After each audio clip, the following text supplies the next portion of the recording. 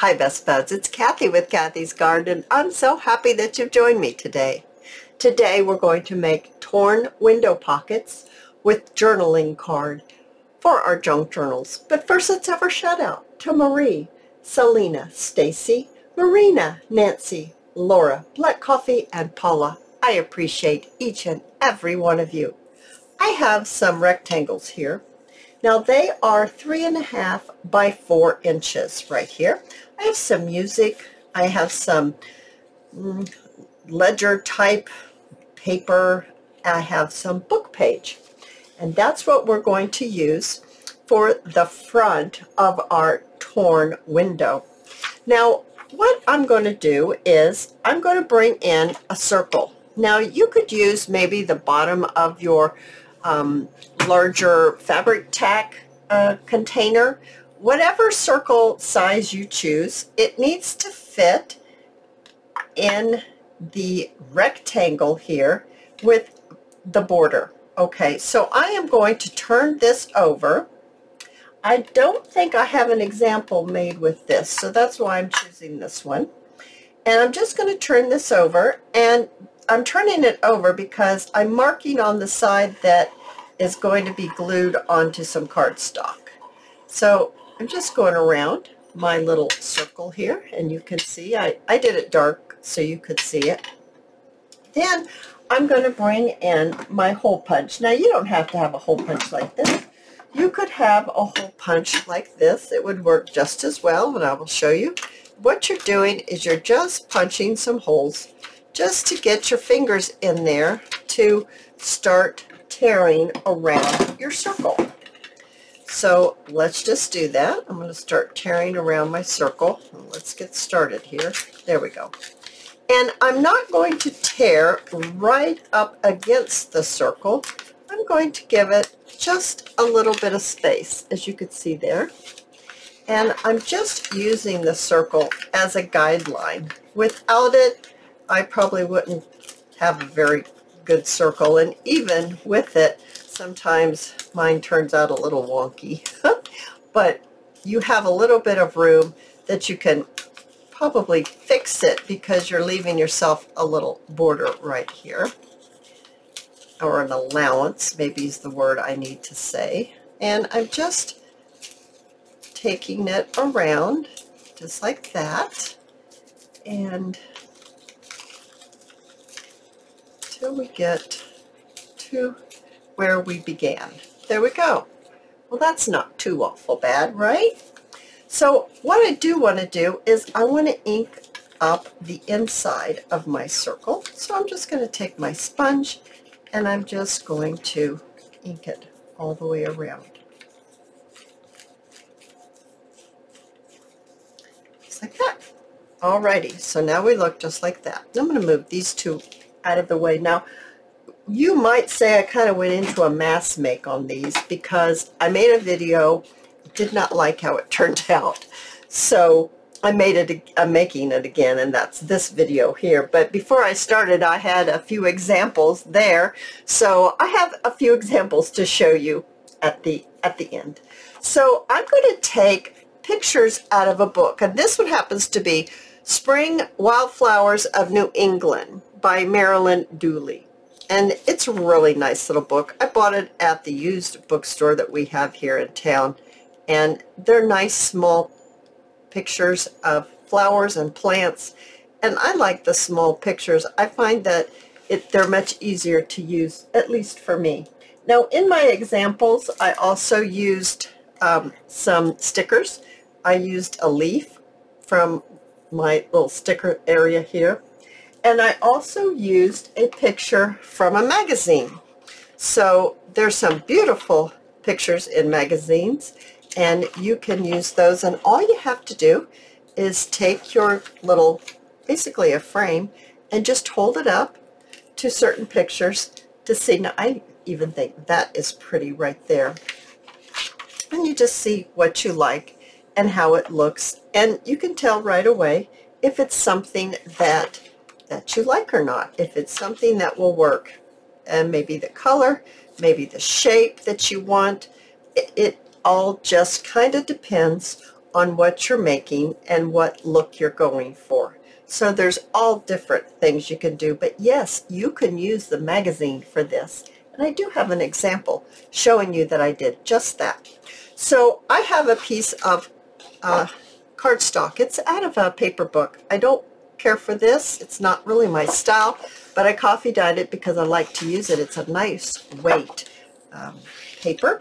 And I'm going to, first, I took out a couple of pictures in that book that I just showed you. And I have made some, my examples are like green, and I've even got a purple one. What other colors do I have here if I can look real quickly? Guess I have two different, a blue one, I have a blue, a purple, and a couple shades of green. So I have some examples to show you, but I don't have an orange one. So I really thought that I would like to do an orange one, and I really like that. I think that's so pretty. So it's so simple to do. Just take your glue, glue of your choice. It does not matter which glue you use, as long as you like it and it works for you. Now, I already said that I'm not going to be on here trying to undo this, so I'll be right back when I get this unstuck. All right, it wasn't stuck very badly. I have been using it all day. I'm surprised it even thought of getting a little stuck. But here we go. We're putting our glue on the side in which I drew the circle on, and that's the side that I'm going to lay onto my picture from my book. And I'm just going to position it maybe something like this.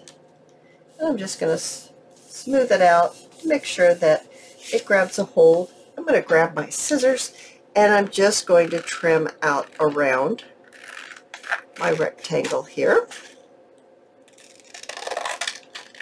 Just like that. And then almost completed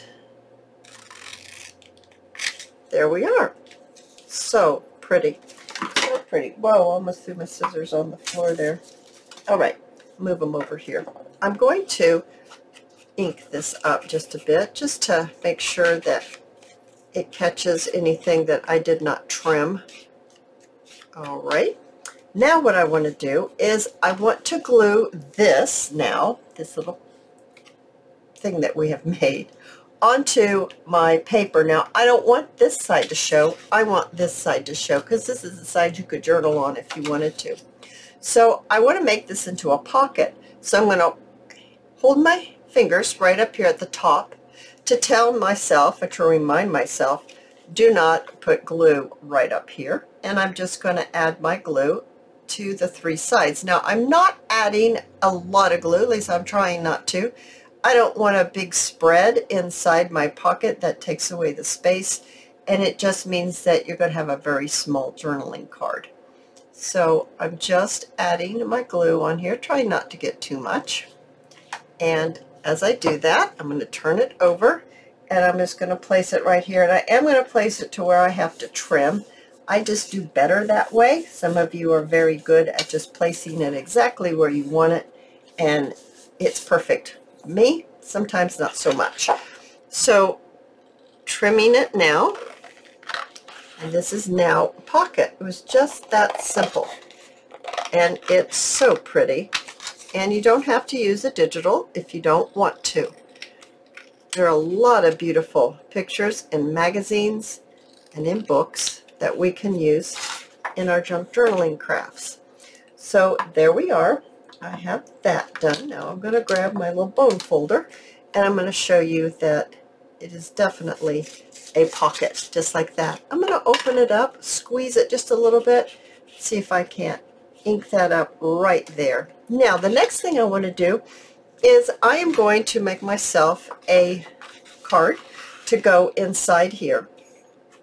I am going to cut myself a little piece so I can easily work with it here under the camera. And I want to make it, now this, remember, this is three and a half, this is three and a half by four. So I want to make this one three inches. So let's make sure that we are, we are very, very crooked here. I can see, I can also see that I'm a little long. So I'm going to get it in here in my guillotine. I'm going to see if I can't get this trimmed. Yeah, this is very crooked too. Let's see if we can't trim this up so we can get a journaling card that's hopefully straight. And I want to trim it to be about three inches now. I hope this is correct. And assuming that's three inches, we're going to find out. And yes, it fits in nicely. Very nicely. All right. So now the next thing I want to do is I'm going to trim this off at the top. And I'm just going to mark it. I'm going to make sure that it's really down in there. Okay. I'm going to just mark it like this. It's easiest for me to do it that way. And then I'm just going to trim it.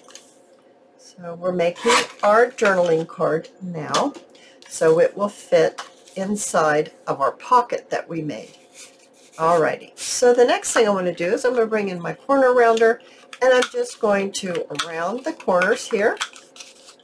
And I do want to add a little bit of ink on here because I inked my pocket. So if you don't ink, then of course you don't need to do this portion. Then the next thing I want to do is I want to bring in another book page. That's why I had two.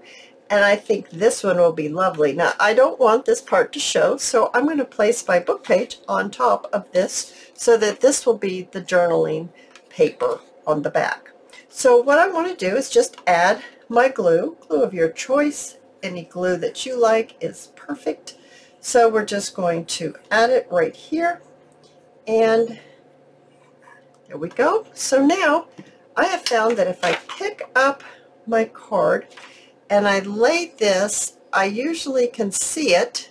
It leaves a shadow and I can kind of tell where I'm at and sometimes it really works for me. I'm trying not to get these words on because there's only there. I think that will be that will clear the words, I do believe. I think it's starting to thunder and the dogs are barking. Yes, it's thundering. Now they're probably all going to start barking and I hope I can get through this video before it gets crazy loud. All right, so we're just trimming around our picture that we mounted on to our journaling card and around we go just like that. I really love how these turned out. I think they're so cute and you can use your book page pictures, excuse me, and you can use your book page for for the outside of the frame and or other music paper, whatever it is that you that you have on hand, and it just turns out so cute. I just really, really think this project is adorable. Now look at that. So there's the tag that goes inside of our pocket. Now what I also want to do is I want to bring in the scrap and I'm going to bring my, here we are, my tab punch, and I'm just going to punch out one. So let's do that. There we are. There's one that we punched out. I'm going to ink it up just a little bit so it blends with everything else that we're working with here. And I'm going to do both sides because I'm just going to use one. Believe it or not, I think this might be the first project that I've only used one. And then I'm going to glue this onto the back.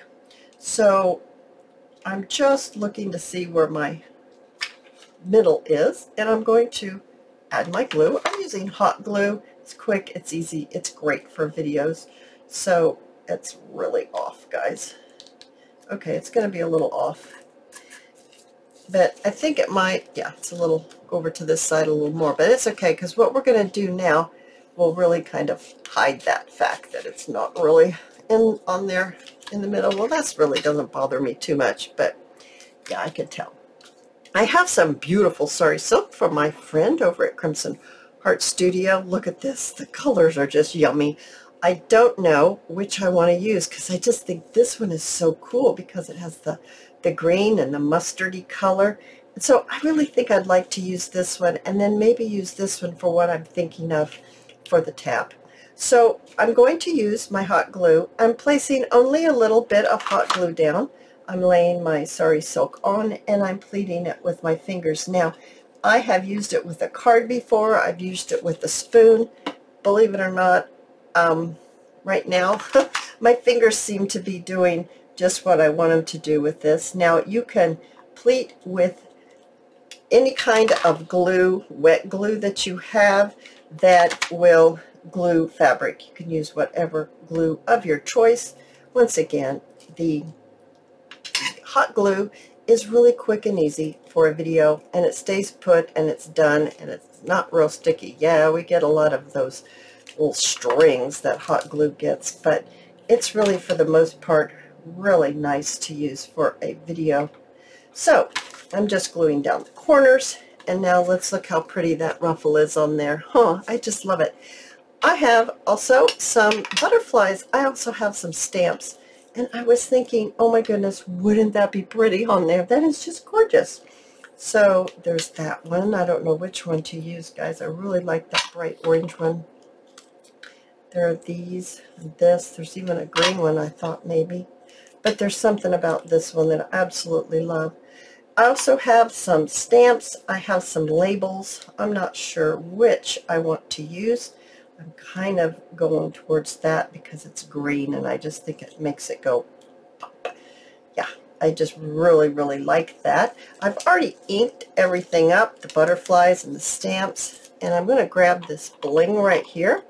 I'm going to put these back. I'm going to move it over here, and I'm going to go ahead and glue this down, and then I'm going to show you what we're going to do with the tab, because that just really just um, I don't know, the word is maybe finishes it right on off and it really has the added touch that that I think it needs, this project needs. Okay, so do I really want it there? Uh, maybe like that. And I'm looking for something to daub it with because my glue is kind of coming out on me. Oh my goodness, isn't that cute? That's so cute. Now, do I want I do want, I want some, I'm going to put three up here, but I'm going to put one in the middle. So I'm going to put one bling in the body of the butterfly. So one's going to go there.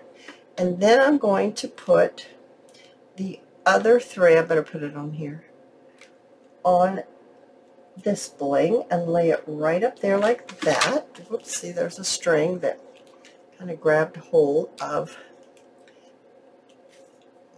there. Isn't that so cute? Now, for what we're going to do up here, I think this color, if I can do what I want to do, I'm going to tie a bow. This is a pretty little piece here.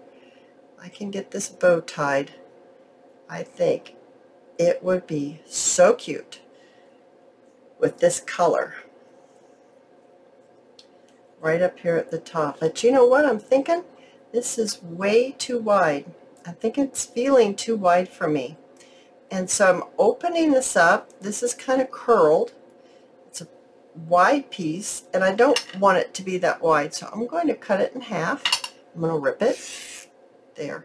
Now let's see if that works a little better for me. There's some strings that come off as you do that. And so you can rip your sari silk to be the width that you want if you have some that is too wide for you for your project that you're doing. I've got lots of string here. I'm going to attach this right up here, but it's not quite what I want yet. Oh goodness, isn't that cute? So I'm going to pull this up out of my pocket. Oh sure. What do I do? Glue it in there? No. Ah! You have to get into the pocket, Cathy. Okay, so I'm just going to add some glue on my tab. And I'm going to glue my bow right on, just like that. I'm going to trim this off. My others have longer piece to work with, but oh, that color is just so gorgeous.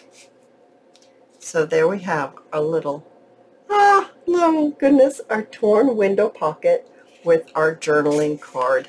Oh goodness, isn't that adorable? I think that's so cute. It's not hard.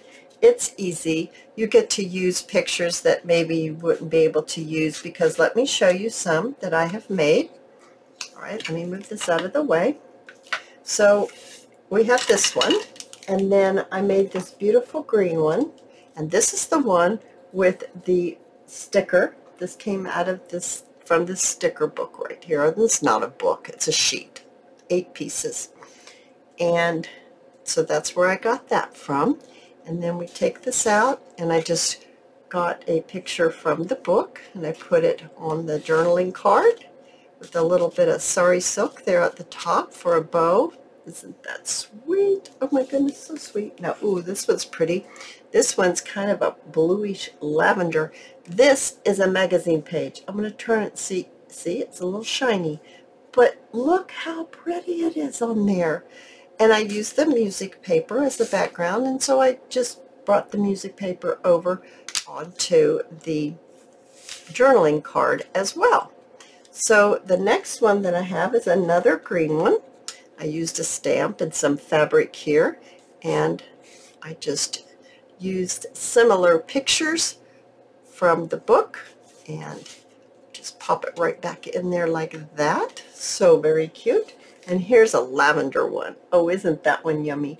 A Shabby Dabby Doodah umbrella. These are Tracy Fox labels. This stamp, I should have said, is from My Porch Prints. And then inside we have another picture from the book.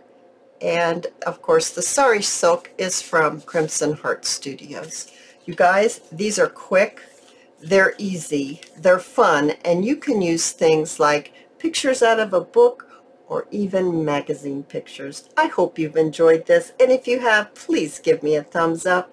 I invite you to subscribe to my channel, and I'll see you in my next video. I'll see you there, guys. Bye now.